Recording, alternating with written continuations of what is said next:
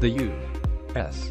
Navy officially approved the start of detailed design and engineering work on its new class of SSBNs. The Columbia-class ballistic missile submarine SSBN program, formerly known as the Ohio-class replacement program, is officially entering the next stage in the long and drawn-out Department of Defense acquisition process by passing a so-called milestone review on January 4, USNI News reports. That means U.S. Shipbuilder General Dynamics Electric Boat can now commence detailed design and engineering work on what is slated to become the U.S.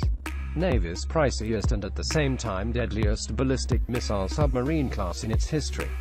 The Milestone B review was originally scheduled for August 2016 but had to be pushed back due to price, design, and production readiness concerns by the Pentagon.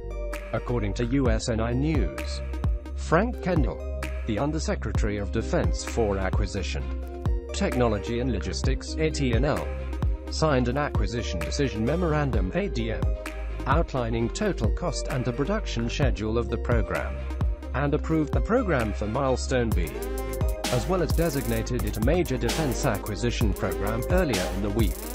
In December, U.S.